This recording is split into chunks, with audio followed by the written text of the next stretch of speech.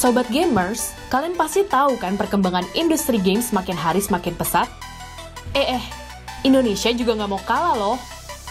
Mulai banyak banget bermunculan game-game buatan anak bangsa nih. Pastinya bangga dong.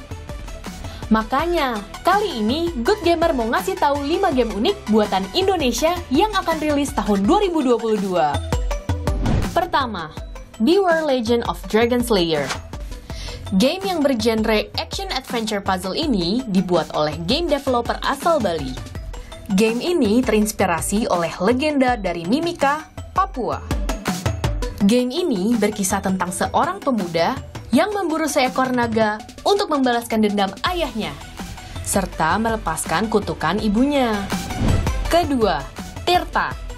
Game ini digarap oleh developer asal Bandung dan berkisah tentang petualangan pendeta wanita yang menjelajahi Kepulauan Bali, di mana pemain akan menjumpai runtuhan kuno dan menyelesaikan teka-teki.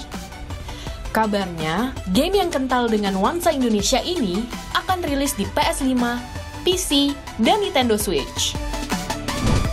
Ketiga, A Space for the Unbound. Game yang memiliki setting tahun 90-an ini digarap oleh game developer Mojiken Studio game developer asal Surabaya.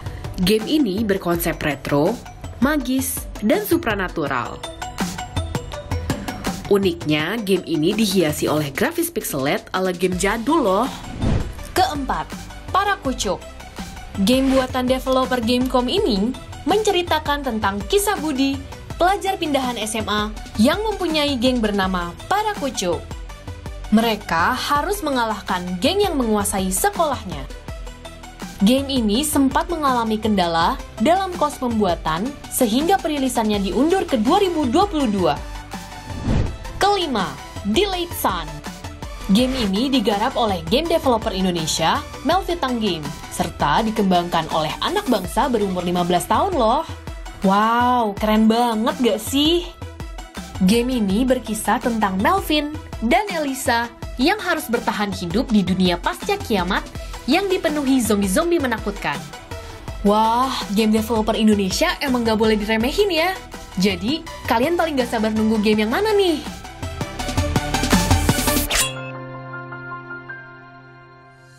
Gue dari kecil itu di force sama bokap dan satu dan dua hal. Nah, gue tuh dulu anak yang bandel banget. Gue kayak gue bahkan naik kelas sekali, hampir dua kali, gue pindah sekolah tiga kali, gue lari lah pergi, nggak pernah pulang tiga bulan segala macem, nakal, berantem sana sini. Cuma pas di akhir-akhir ada satu tamparan waktu itu, adik gue tuh minta jajan, adik gue minta jajan kayak ke nyokap gue tuh sepuluh ribu doang apa nggak salah, nyokap gue nggak punya duit, terus di rumah gue nggak ada beras, gue kayak gue anak laki-laki satu-satunya kok gue bilang gue malah main gue malah pergi. Walaupun gue pergi tuh nggak bodoh juga. Gue ketampar lah di situ di situ yang bikin gue kayak bahkan sekarang segalanya semua tentang keluarga gue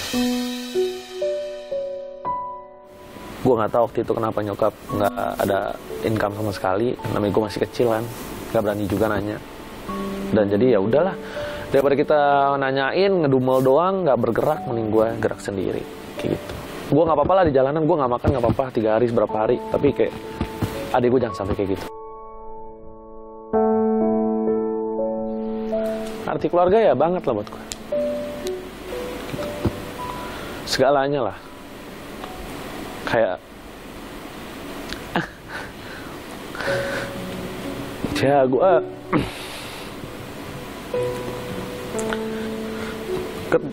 kerja kayak gini ya buat buat mereka. Kayak mau balik dari Bali kerja lagi buat mereka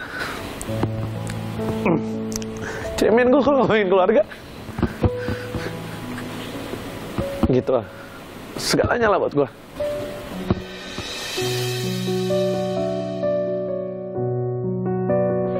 gue tuh bucin banget tuh dulu sama pacar gue itu. Nah di situlah kayak pas gue ngeliat nyokap sama adik gue kayak gitu kok gue ngerasa ketampar gitu loh. Gue masih mikirin seneng-seneng pacaran segala macem tapi nyokap sama adik gue kayak gini gue bilang. Bokap kan jauh ya. Bokap juga tetap ngasih duit ke adik gue cuma di saat itu gue nggak tahu apa yang terjadi kayak itu kayak tamparan Tuhan sih buat gue mau nyampein bu makasih lah. Udah didik kakak sekeras itu gitu. mungkin kalau dulu nggak dididik sekeras itu mungkin gue nggak kakak nggak sekeras ini. Cuma satu sih mungkin belum bisa bagian ibu atau mungkin belum beberapa per- apa ya yang ibu pengenin juga belum terrealisasi tapi insya Allah secepatnya apa pun yang ibu pengen apa pun yang ibu mau kalau bisa kakak turutin dan kalau bisa eh, kakak bisa bikin ibu pensiun lebih cepat istirahat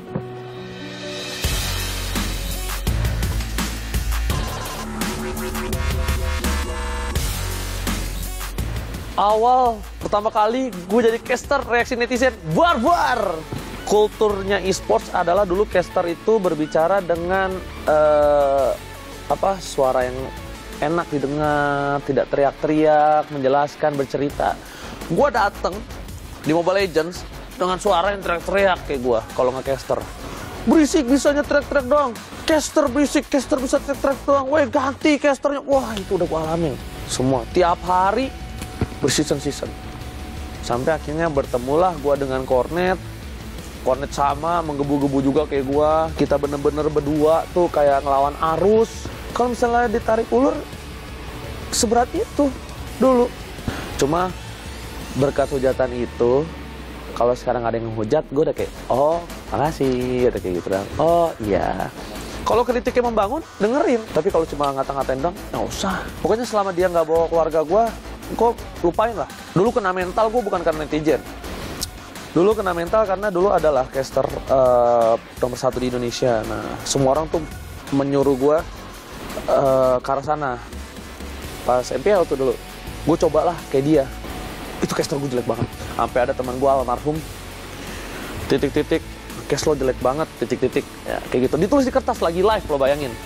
Ya maaf dude gini-gini. Almarhum Pova udah lo nge-cash kayak biasa aja lo nggak usah ngikutin orang. Gue nge-cash lah kayak biasa. Abis itu abis gue kena mental gue bawa dia mana nggak ngerokok kan nggak ngerokok gue diem ya set udah ke atas. Balik lagi kayak OG biasa udah langsung tepuk tangan teman gue kayak nah gitu baru. Di situlah titik kayak ya gue nggak harus jadi dia gue harus jadi A B C gue jadi diri gue sendiri aja. Dan itu yang bawa gue sampai saat ini. Buat kalian semua yang mungkin sekarang berada di posisi terburuk. Lo nggak selamanya di bawah. Semua roda berputar. Asal lo nya mau asal lo nya juga berjuang. Nggak usah pedulin orang bilang ah dasar kerjaan lo B kerjaan lo C kerjaan D. Nggak usah dengerin.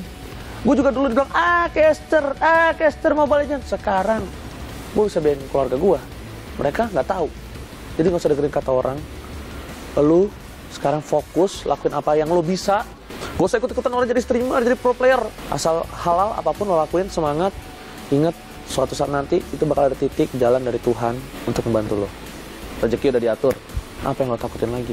Oke brother semua itulah cerita gue Semoga bisa memotivasi kalian semua. Biar semangat terus bekerja. Jangan pernah menyerah Karena ingat ya guys ya. Mimpi aja dulu. Hasil belakangan. Selama mimpi itu masih gratis. Kalau udah bayar kan bingung ya. Buat kalian semua tetap semangat Gue Ranger Mas Pamit dulu diri. Bye bye